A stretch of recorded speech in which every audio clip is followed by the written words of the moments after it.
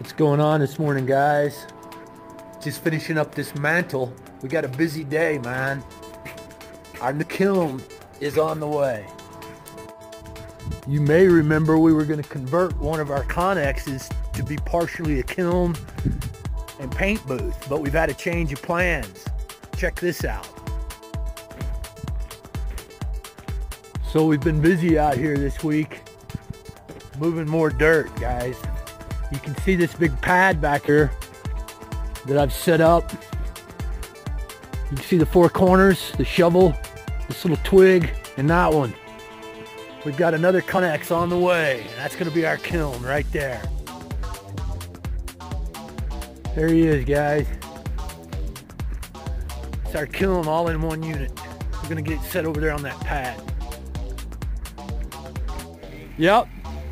So we're gonna set this thing down on the ground first, guys, and then turn it around so that we can put the doors facing towards the back. So we got it all in one unit, it's a 20 footer.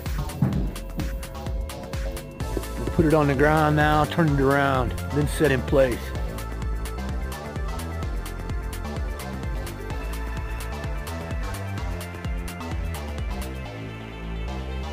Okay guys, so we're taking time to shoot a little video for YouTube at the same time we're doing a, doing all of this. He's coming around to get it from the other side now.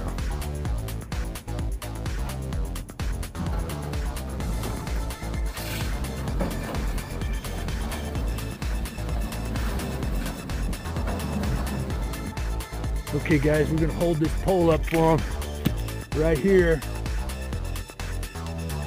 he's going to back it up right to this post.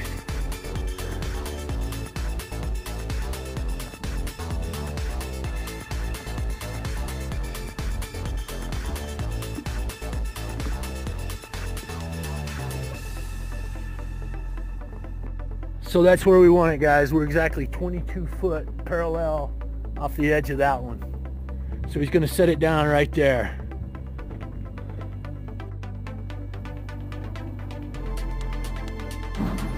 You got it.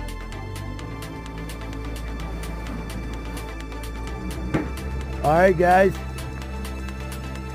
So there it is, man. We got a kiln on the ground. Now we got to get it wired up, get it running. Let's get this thing plugged up. Let's check it out first. All right, so let's get in here and I'll show you what we've got. 20 foot Conex. But because of the insulation all the way around.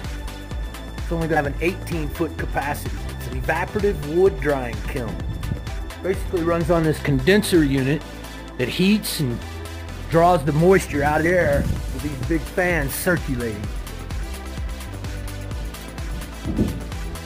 So what many people don't know is not only does the kiln dry the wood, it kills all the critters that are living in it, you know, beetles and other things.